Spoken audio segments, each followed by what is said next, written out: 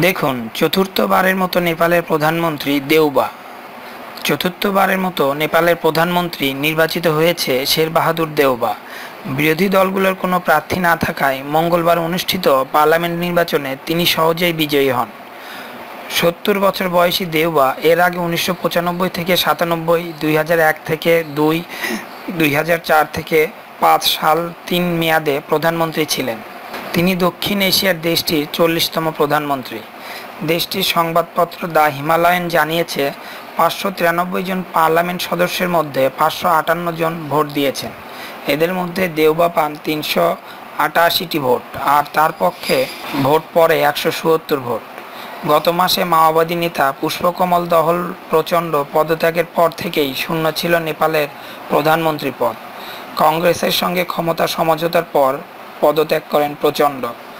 দেউবা বুধবারে একটি ছোট আকারে সরকার গঠন করবেন বলে ধারণা করা হচ্ছে। আমার এই চ্যানেল হতে আপনারা যদি আরও লেটেস্ট নিউজ পেতে চান, তাহলে অবশ্যই সাবস্ক্রাইবের মাধ্যমে আমার সঙ্গে থাকুন। ধন্যবাদ সবাইকে.